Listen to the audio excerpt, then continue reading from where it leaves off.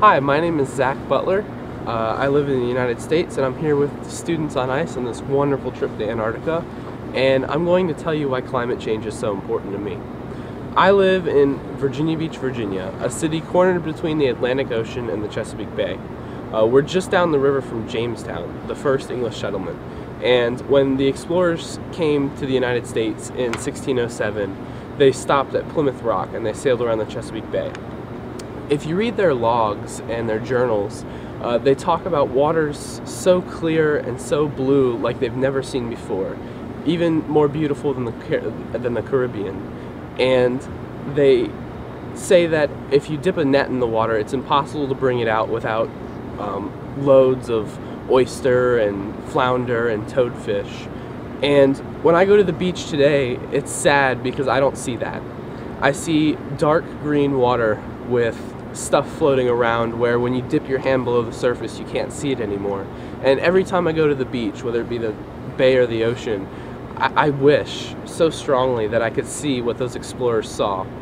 And Antarctica is such a beautiful place because it's largely untouched.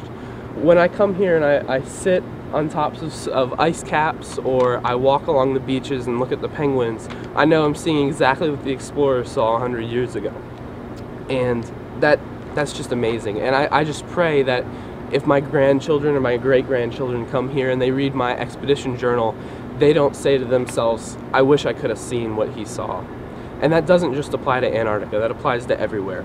Uh, moving back to the United States, um, I read that if ever, if all of the ice in Antarctica were to melt, the sea level would raise 50 meters or 150 feet, and that would swallow up quite a bit. Uh, we had a glaciology presentation uh, by Jeff, which is the study of glaciers and ice, and he said that he showed us a map if the ocean level were to raise just 7 meters, which is 21 feet.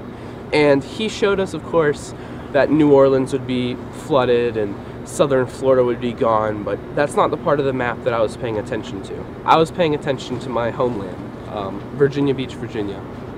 Um, and here's Virginia Beach where I live. Here's the Atlantic Ocean. Here's the Chesapeake Bay. That's what it looks like now, just a rough sketch. Um, of course, I was looking at the red part of the map, what, what would be gone. And this is what it would look like. Uh, you can see everywhere that I, everywhere that I've been to school, everywhere that I lived, all completely gone. And that's, it, it scares me to think that that could be my future. Um, also note that the entire eastern shore is gone, and that may not sound very important, but all of this is fresh, or all of this is salt water from the ocean, all of this is fresh water from the rivers, and that would ruin the entire ecosystem of the Chesapeake Bay region. Um, and that's just from flooding. Imagine what the temperature change would do. Five degrees, they're predicting by 2100.